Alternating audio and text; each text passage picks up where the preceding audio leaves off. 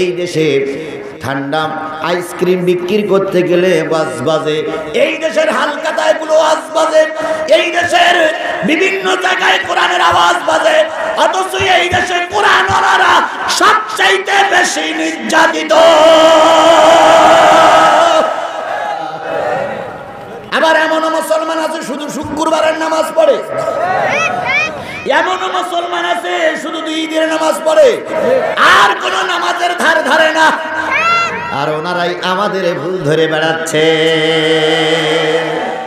কই হুজুররা সব কোরআনের ভুল ব্যাখ্যা করে।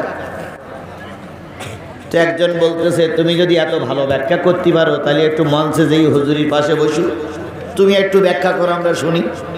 তখন বলে, কি জানে হুজুর যে কোরআন শরীফ পড়তেছে, ওকে আমি পড়তে পারি। কোরআন শরীফ পড়তে পারে না কিন্তু হুজুরদের ভুল ধরতে পারে। এরকম জাত আমার সমাজে আছে না নাই? জাতীয় সংসদে দাঁড়িয়ে বেনামাজিরা বলতেছে আমরা কি হাদিস কোরআন জানি না? বোখারি মুসলিম পড়েছি, তিরমিজি পড়েছি, আবু দাউদ পড়েছি, নাসাই শরীফ পড়েছি, ইবনে মাজাহ পড়েছি, কোরআনের সব তফসির পড়েছি। আমরা কি কোরআন হাদিস জানি না? আমরা কি কোরআন হাদিস বুঝি না? আমরা কি কোরআন হাদিস বলতে পারি না? দেখো কি সুন্দর করে বলতেছি তোমরা, শোনো, লাকুম দিন উকমালিয়া দিন বোখারির হাদিস।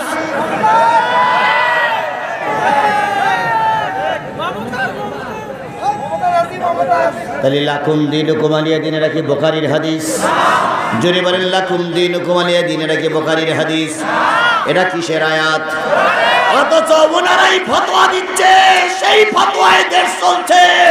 আর যেই সমস্ত আলেমেরা শত শত বছর ধরে কোরআন হাদিসের কথা বলতেছে, যুগের পরে যুগ তাফসির করে বেড়াচ্ছে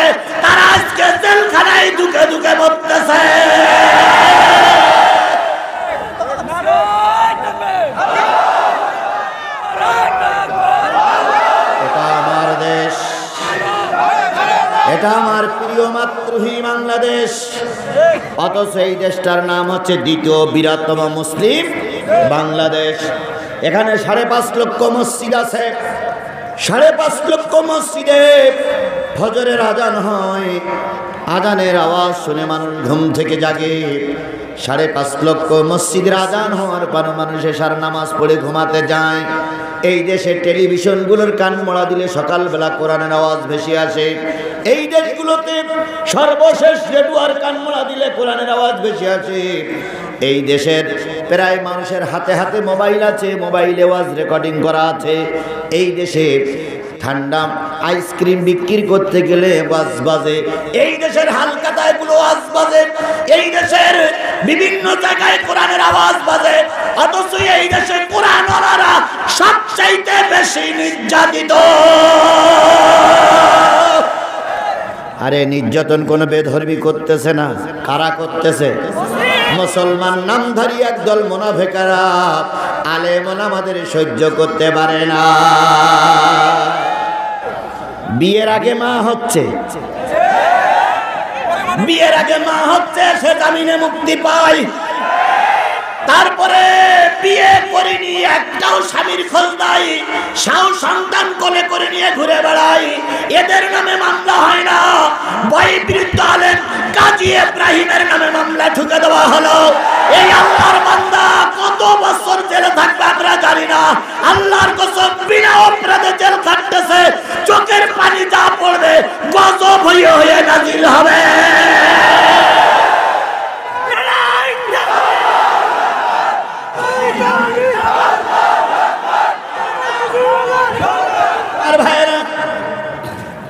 তাহলে যে মাবুদ, ওই সমস্ত জালেম ফাঁসে কাফের, ফজ্জার মুসলমান না বানিয়ে আপনাকে আমাকে কি মুসলমান বানিয়েছেন?